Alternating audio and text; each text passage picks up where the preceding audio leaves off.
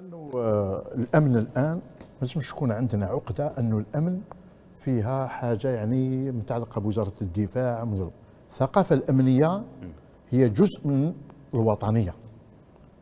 لابد أنه تكون عندنا ما تكونش عندنا عقدة خاصة لما يكونوا مترشحين يمثلوا أحزاب أخرى أنه تتعامل مع المؤسسات الأمنية. تكلم الأستاذ زغلامي نقطة مهمة جدا. دور المؤسسات الأمنية.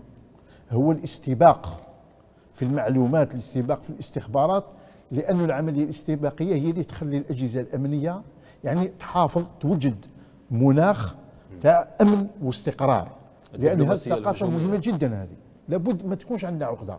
هذه إحنا كما يقولوا يعني كل مواطن جزائري 45 مليون جزائري يعتبر يعني آه، آه، كما يقول آخر مصدر من مصادر المعلومة الاستخباراتية اللي يقدمها المؤسسة الأمنية بكل اعتزاز وبكل فخر.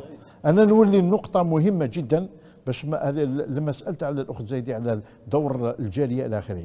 لابد أن تكلمت أنا في المقطع تاعي على القواعد اللوجستية إلى آخره. الدولة الجارة 32 مليون متر مربع من القواعد اللوجستية. علاش؟